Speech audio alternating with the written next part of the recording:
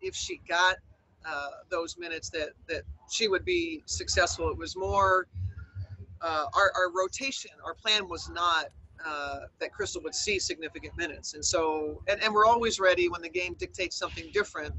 Uh, and that's why she got an opportunity. Is is we were just looking for something different at the guard spot, and uh, she made the most of it. You know, that's what UConn players do. I mean, she she's ready, uh, she's confident, and and uh, you know, like you said, just that that little something little that helps play like that, um, you know, just really got us going, and just you know, she was confident. I think you know, probably about the same times when Phee got going. Uh, you know, so yeah, it was it was fun. I didn't I didn't even think about that in terms of the UConn player being uh, having a big game in her in her opener.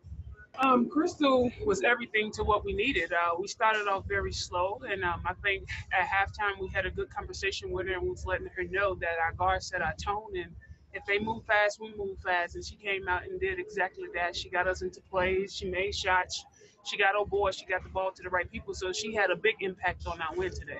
As far as Crystal, no, uh, she's been showing us that since she's been at Connecticut. That's why she's here uh, to get us in the groove and making sure she gets the ball to the right person. But at the same time, she can't forget about herself as well. Yeah, it felt you know really good first of all to play with Crystal again in a game.